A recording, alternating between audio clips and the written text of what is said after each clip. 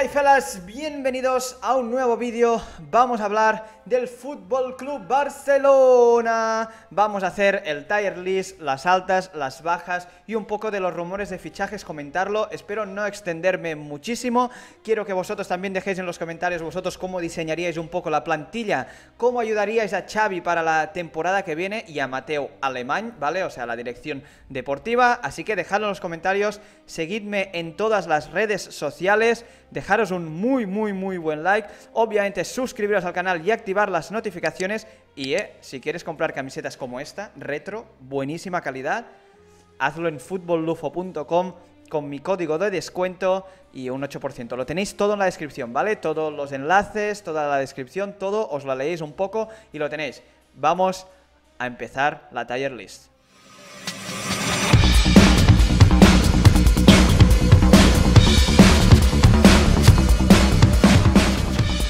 Aquí la tenemos, señores, aquí tenemos la tier list, ¿vale? Con los jugadores pues que forman la plantilla. Empezamos. Supongo que todos sabéis cómo funciona. Aquí tenemos titular, suplente, cesión, fuera, out, dudas, a ver de qué haría y fichajes, ¿vale? Así que empezamos con Piqué. Para mí, Piqué debería ser suplente ya la temporada que viene, lo está haciendo muy bien y el problema es que no está nadie, digamos, pasando por encima, o sea, puede ir de titular a suplente, pero titular mezclándolo con suplente, ¿vale? De momento lo dejamos en titular. Dani Alves, para mí, con las llegadas que están previstas, yo out. Muchas gracias. O si sigue cobrando lo mismo, lo puedes dejar de suplente. Tampoco es una cosa, cobrando lo mismo hasta verano. Lo vamos a dejar como suplente porque para mí puede tener un rol de, de apoyo a la plantilla, ayudar y esas cosas. Pero con los que estamos pendientes de llegar como Azpilicueta, sin duda no tendría espacio, ¿no?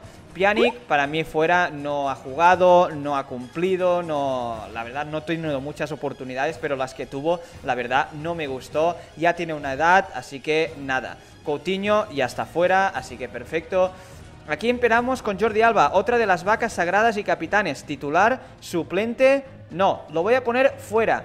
¿Por qué? Porque está previsto que lleguen refuerzos en la izquierda que para mí tendrían que ser titulares y Jordi Alba suplente no va a ser. Sería una de las vacas sagradas para mí sacrificada. Es, para mí es la que se puede prescindir más. Seguimos con Busquets.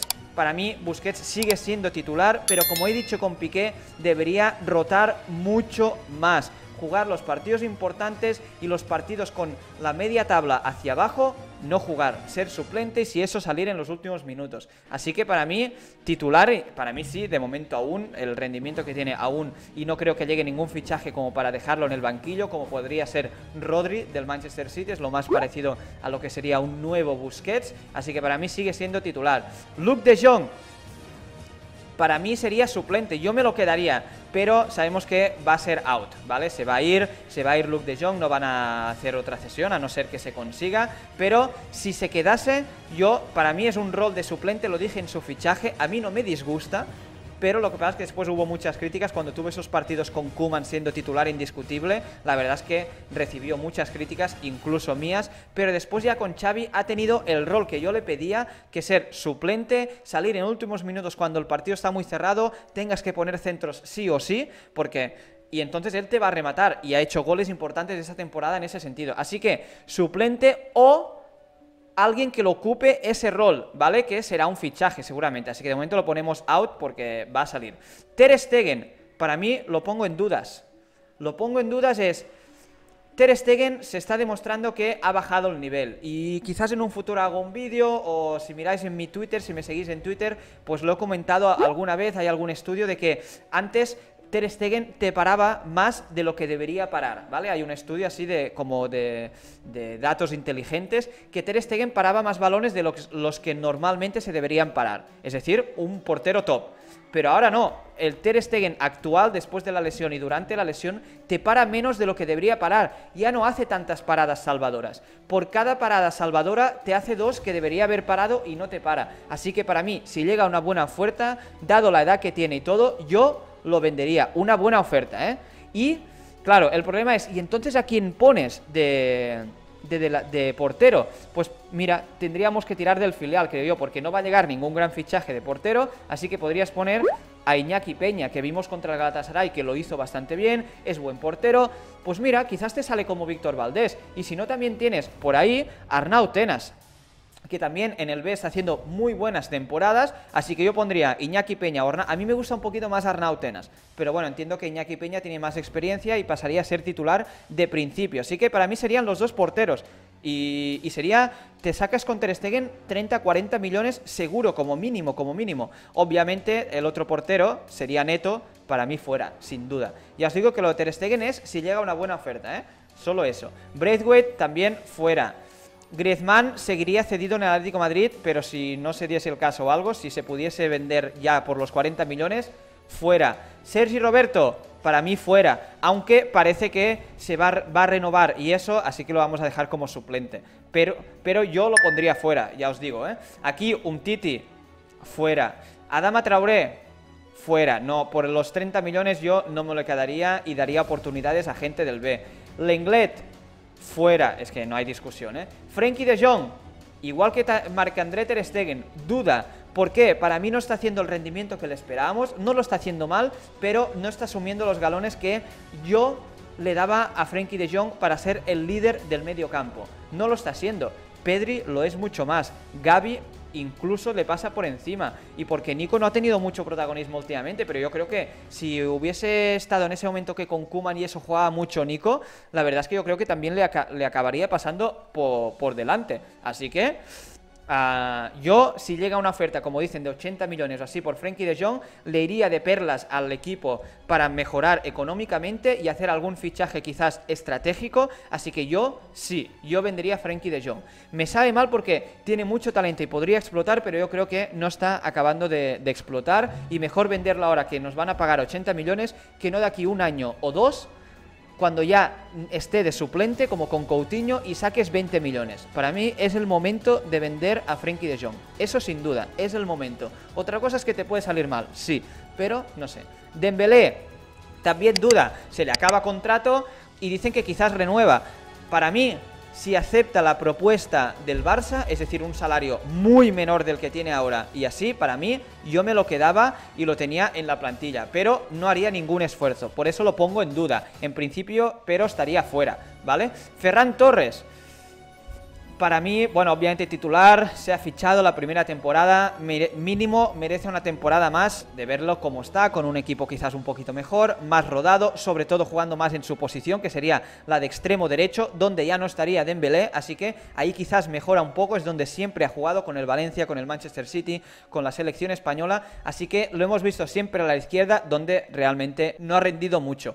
Aunque los que entienden más de fútbol, los que analizan mucho los partidos después y eso, sus movimientos y eso te genera mucho, te genera Ferran Torres, así que de momento lo ponemos como titular.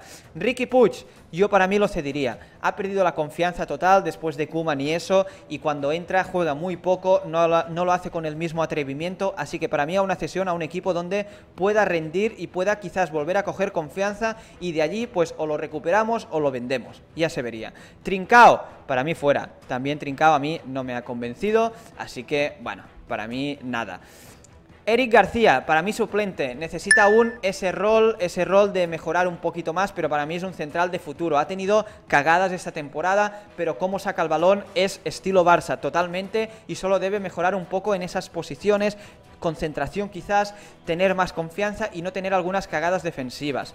Nico, para mí también suplente, también se rumorea que quizás podría salir cedido o eso, pero para mí no. Para mí se debería quedar en el Barça y tener un rol de suplente, tener pues 20 minutos cada partido, algún partido titular, sacarle los minutos a Busquets, por ejemplo, así que no sé, eso ya lo veríamos.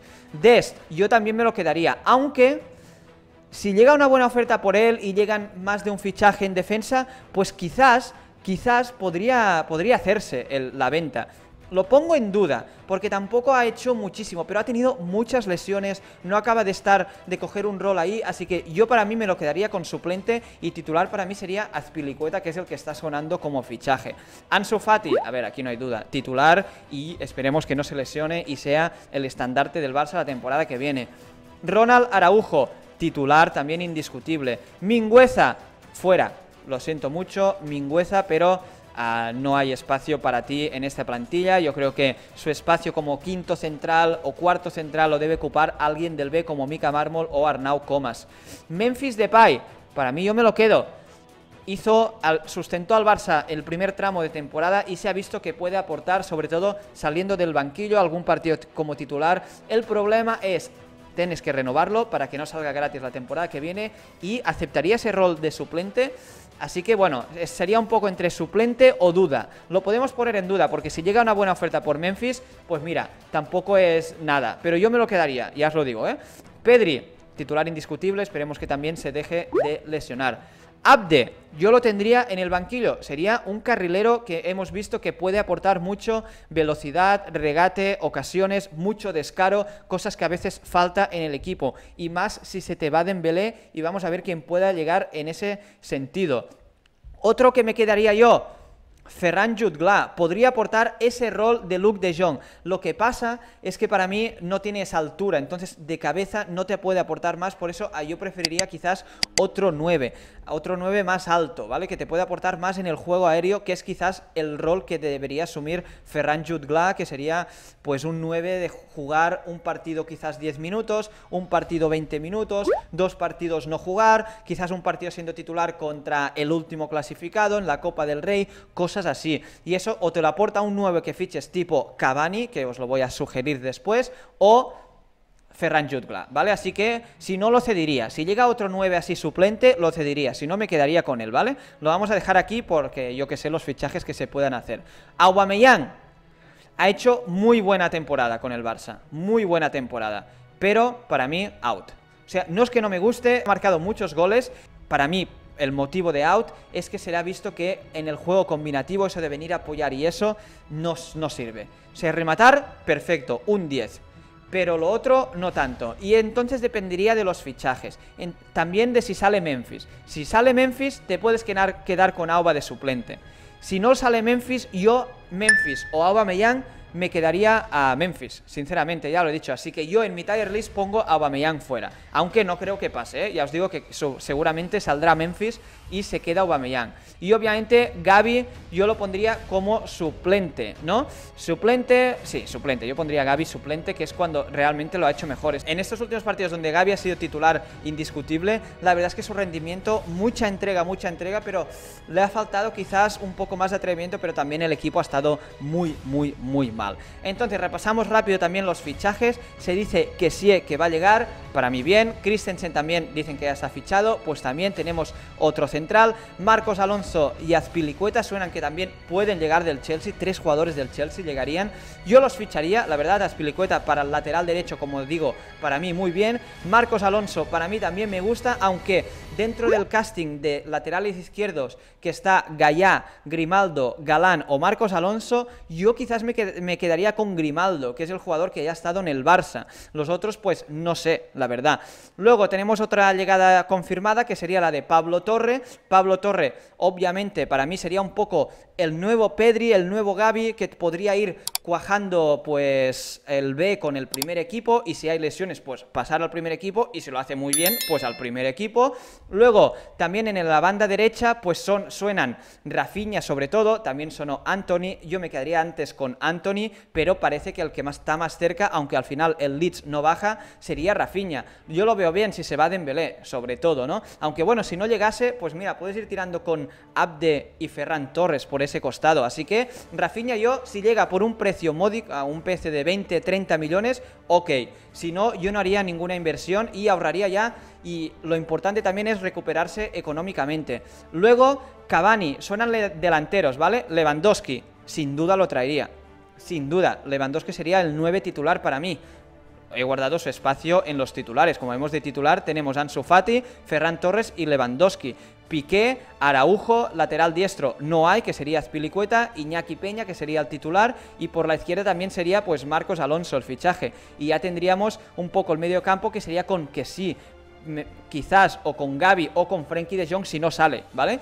Luego estaría, hay otros fichajes que han sonado que para mí es puro humo, como Luis Suárez, diría no, Mané, no, no hay dinero. Salah, no hay dinero. Lisandro Martínez también ha sonado de Argentina, pero yo creo que no hay dinero, ya hay suficientes centrales. Se puede fichar un central la temporada que viene para ser number one, digamos, para ser titular. Si no, si Eric García no coge ese rol, Christensen tampoco y eso, ya que Piqué yo creo que esta es su última temporada, pues quizás De League la temporada que viene o Lisandro Martínez podrían ser una opción, pero no este verano. También otros que han sonado podrían ser como Morata, yo digo no, Darwin Núñez, mucho dinero, Di María que queda libre pero parece que va a la Juventus, pues no sería una mala alternativa si no llega Rafinha, yo lo vería bien, como un poco ahí extremo suplente con Ferran Torres y entonces pues Abde te queda un poco más como tercero o por ahí. Y también suena mucho Rubén Neves para el medio campo. Si saliese pues Frenkie de Jong no te, no te diría que no, aunque Rubén Neves sería el suplente de obviamente de Busquets,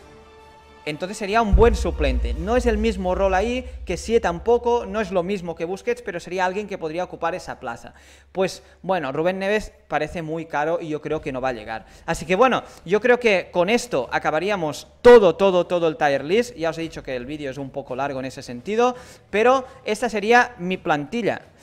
Esta sería mi plantilla, yo creo que la plantilla sería de unos 20 y pico jugadores, muchas salidas, como vemos, algunas ya son sesiones o ya están fuera, pero unas 11 salidas como se rumorea, incluso más, dependo de esas dudas de Dembélé, de Des, de Memphis, de Frankie de Jong o Ter Stegen, que podrían aportar dinero, sobre todo Ter Stegen, Memphis, Frankie de y Des, y no te desprendes tampoco. No sé, eso es mi opinión, es mi opinión, podéis dejar la vuestra en los comentarios, suscribiros al canal y activar las notificaciones, dejaros un muy buen like, si queréis camisetas de fútbol, hacedlo en mi código, lo tenéis todo en la descripción, y nada, no me enrollo más, vamos a estar siguiendo la actualidad aquí en el canal durante toda la temporada. Visca al Barça, a ver... Visca al Barça, esperemos que la temporada que viene sea mejor y nos vemos en el siguiente vídeo. Adiós, felas.